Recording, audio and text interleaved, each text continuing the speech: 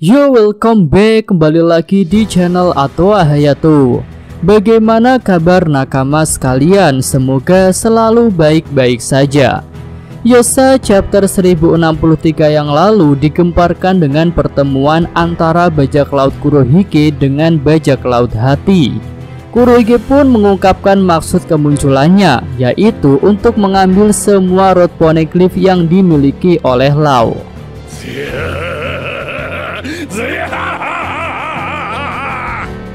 Nah, di beberapa video yang lalu Mimin sangat mengunggulkan kemenangan Kurohige. Apalagi dia datang bersama beberapa komandannya yang sudah punya kemampuan buah yang hebat.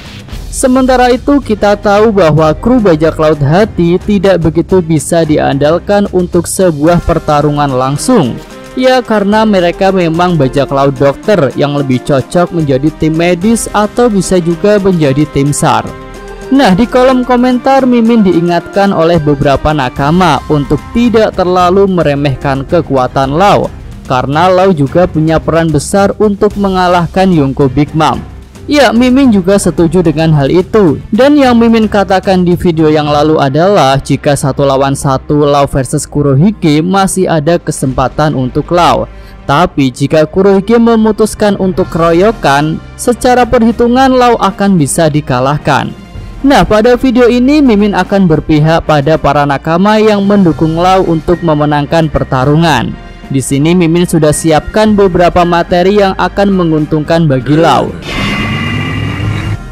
Ya dengan catatan Kurohige mau dengan jantan melayani pertarungan Baiwan satu lawan satu menghadapi Trafalgar Lau.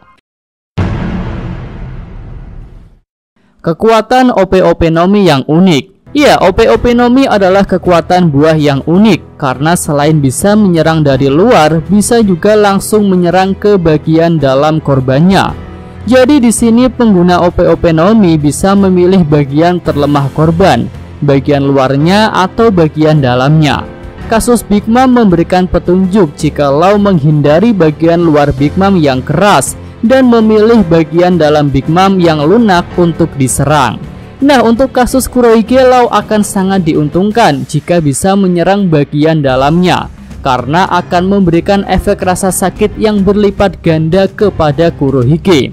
Big Mom saja yang punya kulit luar super keras sejak kecil bisa mendapatkan luka yang parah di bagian dalam, apalagi jika Kurohige yang terkena serangan dari dalam.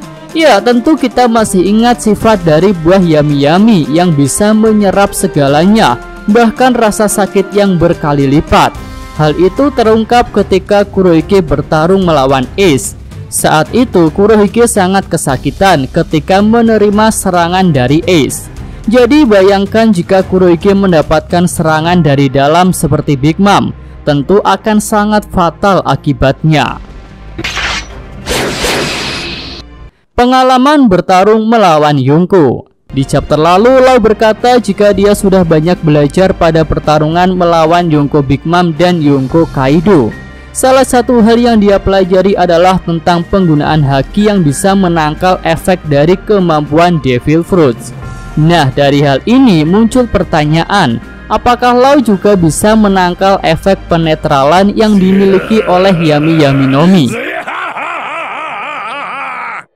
Pendapat awal Mimin sih hal itu tergantung besar haki yang dimiliki.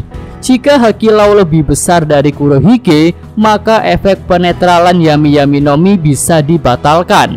Tapi kalau haki Kurohige lebih besar, maka kemampuan OP-OP Nomi Lau tetap bisa dinetralkan.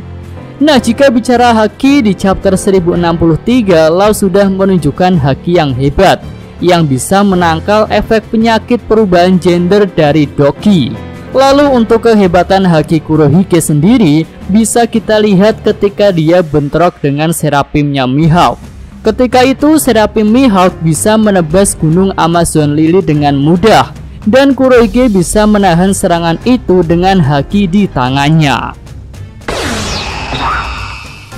Cara bertarung melawan OP-OP Nomi Nah, seperti yang Mimin bahas di atas bahwa OP-OP Nomi itu adalah buah yang unik dan cara bertarungnya juga unik.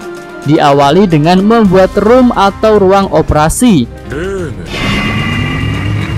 dan setelah itu Lau bisa memanipulasi hal-hal yang ada di dalam roomnya.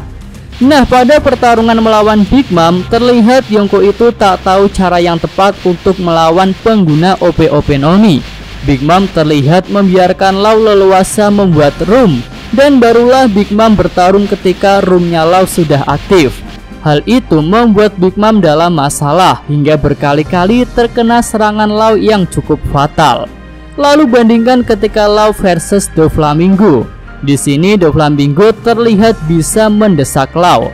Ya tentu bukan karena Dovi lebih kuat daripada Big Mom, tetapi karena Dovi lebih tahu cara untuk bertarung melawan pengguna OP-OP Nomi daripada Big Mom. Nah, kembali pada pertarungan Lau versus Kurohige. Di sini Kurohige akan kesulitan jika dia tidak tahu cara yang tepat untuk bertarung melawan pengguna OP-OP Nomi seperti Lau kelemahan Kurohige akan dibongkar oleh Lau. Nah ini hal menarik yang patut untuk dinantikan yaitu mengenai fakta tersembunyi tentang struktur tubuh spesial yang dimiliki oleh Kurohige. Struktur tubuh yang spesial milik Kurohige itu pernah dikatakan oleh Marco ketika pertempuran Marineford. Dan menurut Marco hal itulah yang membuat Kurohige bisa menggunakan lebih dari satu kemampuan Devil Fruits Lalu sebelum pertempuran Marineford sudah ada keanehan dalam diri Kurohige yaitu kemampuannya untuk menahan tidur yang tidak masuk akal. Hal itu terlihat saat bajak laut Shirohige bertempur dengan bajak laut Roger. Menurut Bagi, Kurohige tidak tidur selama berhari-hari ketika pertempuran itu sedang berlangsung dan tentu itu bukan kemampuan manusia normal. Apalagi saat itu Kurohige masih kecil dan tentu dia belum mempelajari suatu ilmu khusus yang bisa membuatnya menahan tidur. Jadi bisa dikatakan tubuh Kurohige itu memang spesial sejak dia dilahirkan. Nah, kemampuan OP-OP Nomi ini bisa digunakan untuk membedah tubuh lawan dan hal itu bisa saja akan mengungkapkan rahasia dari struktur tubuh spesial milik Kurohige. Ketika melakukan itu, lo mungkin akan menemukan kelemahan dari Yonko Kurohige dan tentu hal itu bisa dimanfaatkan lo dalam pertarungan. Oke itu aja pembahasan Mimin untuk video kali ini ya Jika ada tambahan, saran dan komentar bisa tulis pada kolom komentar Yosa Mimin Atwa Hayatu Terima kasih Oke sampai di sini aja video kali ini. Semoga nakama sekalian menyukainya. Terima kasih udah nonton. Jangan lupa like-nya dan subscribe channel atau Hayato. Ciao.